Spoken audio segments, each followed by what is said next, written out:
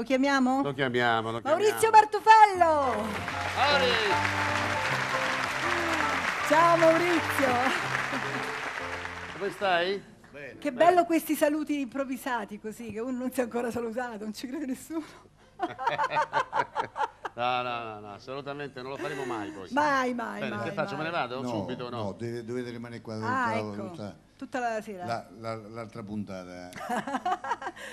Dino Sì. dormiva, amore dorme un'altra volta, allora lo fa apposta. Oh, vi incontrate No. sempre, vi date appuntamento. Ma, ma lo fai, ma tu lo fai apposta, questo do- s'anninna. Eh, che vuoi fare? Come arrivi gli appa l'anninnata, capisci? Subito si addorme. veramente. Eh, lo Eh, so, che- capirai. eh, gli anziani. L'altra volta gli ho recitato una poesia, l'altra volta. Sì? Ah, sì? Eh, Gli ho dedicato a lui. Si è addormentato La mentre... po- No, no, no, sta- era la sveglio. posso recitare una poesia. Par su condicio re- recitane uno pure a me, no? No. Ma ti conviene? No, non mi conviene, se è come Se è quella come di Dino- quella. No, non mi conviene. Ho paura che capite la cosa. Eh, vero. Però la posso recitare così. ne- Oggi ne voglio recitare due, una all'inizio e una alla fine. Ok. Perché poi devo parlare delle suocere. Mm. La suocera mia. Sai che è morta la suocera mia? No. L'hai fatta fuori tu, No, no? è morta la suocera mia. Beh, io- che- le, le notizie secondo come te le danno? Io stavo in macchina, mi squilla il telefonino, di chi è? Sono il cassamortaio, porca miseria. Alla parola cassamortaio qualche cosa è successo. Che è successo? È morta la suocera tua. Come la vuoi la cassa? Chiusa bene, dico, quello, potrebbe fare danno si esce con te. Sto scherzando. eh. Sto scherzando. Fantastico. Sto scherzando, la suocera mia, no, è Continua viva. a scherzare. che No, è viva la suocera mia, io la porto dappertutto, ci voglio bene la suocera mia. Sì? Sì, sì, la porto dappertutto. La rarità. Solo che riesce sempre a ritrovare la via di casa. Ci avrei il tommo tommo incorporato per la miseria. Quest'anno la devo portare a fare una vacanza a Unululu. Sì, perché proprio a Unululu? Perché? Qui sta la sabbia per, i bambi- per- per i bambini, il sole per mia moglie, squale per mia suocera.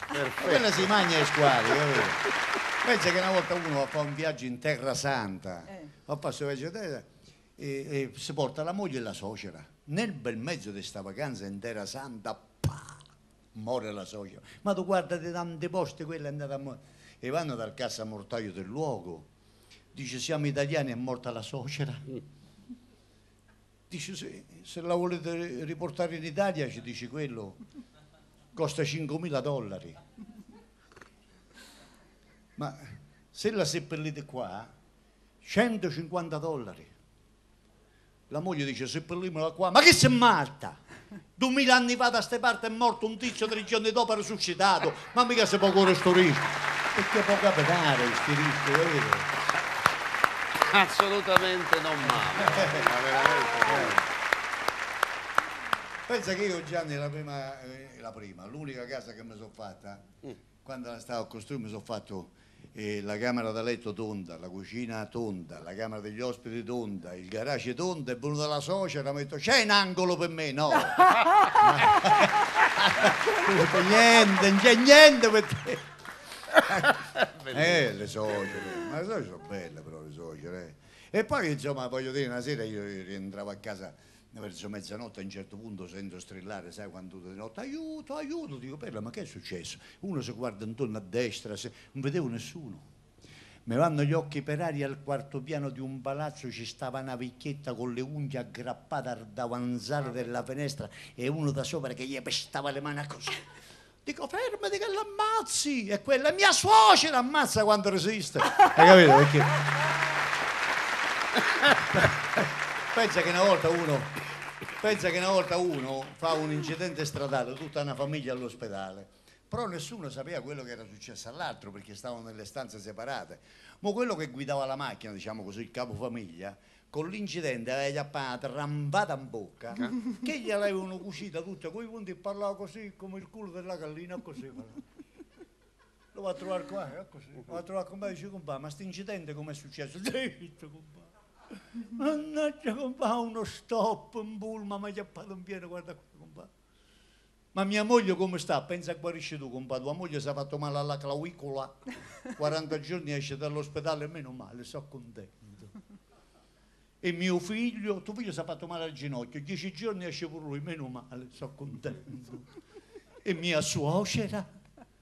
Eh, tua suocera purtroppo è morta. Non mi fa ridere che mi si scucino i punti.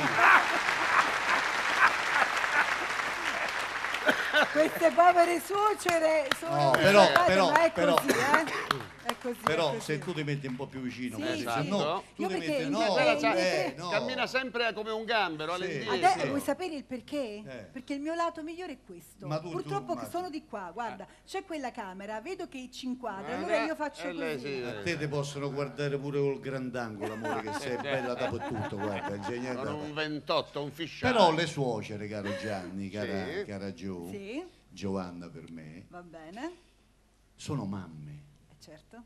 E io voglio dedicare una poesia a queste mamme. Io volevo dire una Fantastico. cattiveria, però No, non la dico. Voglio, voglio dedicare un- una poesia a tutte le mamme perché la suocera è mamma comunque, no? Tu sei giorno mamma. sarò suocera anch'io, Certo, oddio però, santo. Però io parlo delle mamme e vorrei dedicare una poesia a queste. Facciamo conto che c'è, siamo- c'è una sala parto e una donna sta per partorire un bambino. Il padre ci può essere e non può essere. In fondo nulla fa sta gran fatica. Anzi, gli piace quel leggero stress che poi passa in me che non si dica. La madre invece se lo porta dentro per nove mesi e il seme che gli cresce. Quante paure, quanto accoramento, quanto dolore quando al fine esce. Perciò vi dico, de conservarla sempre dentro al cuore la mamma, signori, brava gente.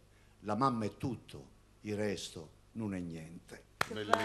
Allora, Bellissima! allora grazie, grazie. Però, però Devo dire una cosa, perché magari la Bellissimo. gente è abituata comunque a vederti in televisione in un certo ruolo comico, vabbè, invece amici. Mauri- eh no no, eh, parecchi non lo sanno perché poi alla fine quando uno lavora in teatro e fa spettacoli diversi da quelli che eh, no, uno è abituato a Sì, vedere in televisione, sì, non però- sa, ma lui è un attore drammatico di quelli Fantastico. veri, No, e bisogna andarlo a vedere, Però quando adesso vedete il manifesto che sta in qualche teatro, Grazie. osate, andate a vedere cose diverse da quelle grazie che Gio, conoscete. troppo buona. No, la però verità. adesso volevo recitare una poesia. eh, sei bello e ti tirano le pietre. Eh? No, è bellissimo. Sei brutto e ti tirano le pietre. Sei cornuto e ti tirano i cerchietti.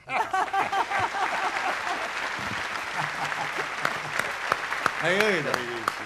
Oh, bene. Adesso eh, non so se chiudere con una cosa seria o una cosa comica. Dov- Dovete decidere voi Quello che due il tuo istinto dice. che siete i conduttori. Vai eh? con l'istinto, vai con Allora. l'istinto, dagli retta. Ok. Che mondo, ragazzi. Roba da matti. Noi però cerchiamo di sorridere, di sorridere sempre di più. La gente ha perso il buon umore, la speranza, la stabilità, i soldi, la vergogna e sta perdendo la libertà. Ma noi dobbiamo sorridere, sorridere di cuore di come il mondo va. Non dobbiamo mai uccidere l'ironia e il gusto dell'ilarità. Che mondo, ragazzi. Roba da matti. L'uomo secondo me nasce con un desiderio che poi si chiama felicità e chi dice io non rido perché sono serio è un serio rappresentante dell'imbecillità. Ci sono sorrisi che non dimentichiamo mai, ci restano nell'anima precisi perché hanno allontanato per un istante i guai e quando li ricordi ridi da solo come un pazzo. Dicono il sorriso abbonda sulla bocca degli stupidi, è ridicolo. Sono loro gli stupidi, quelli che hanno coniato la frase. Ridere è un canto d'amore, di libertà. Chi sorride è intelligente, è attraente. Ridere purifica, rende belli, fa crescere i capelli. Ridere cancella le rughe perché ridere fa entrare più aria nei polmoni. Se avessi una bacchetta magica vi farei ridere in eterno perché la vita senza un sorriso è tragica, una stronzata, un inferno. E allora ridiamo, sorridiamo, accettiamoci così come siamo, alti, bassi, pelati e grassi. Diciamoci apertamente ti amo e che ti voglio bene diventi una prassi. Il sorriso è di vitale importanza. Un sorriso arricchisce chi lo riceve senza impoverire chi lo dona. Non dura che un istante, ma nel ricordo può essere eterno. Nessuno è così ricco da poterne fare a meno e nessuno è così povero da non meritarlo. È il segno sensibile dell'amicizia profonda. Un sorriso non si può comprare, né prestare, né rubare, perché è solo valore nell'istante in cui si dona. E se poi incontrando chi l'ha aspettato sorriso a voi non dona, siate generosi e date il vostro, perché nessuno ha tanto bisogno di un sorriso come colui che non sa darlo. Grazie, arrivederci. Grazie, Ciao. grazie, grazie Maurizio. In bocca al lupo a tutti. Grazie. Grazie. Grazie, Grazie Maurizio, bellissimo, grazie. grazie. Arrivederci. Grazie.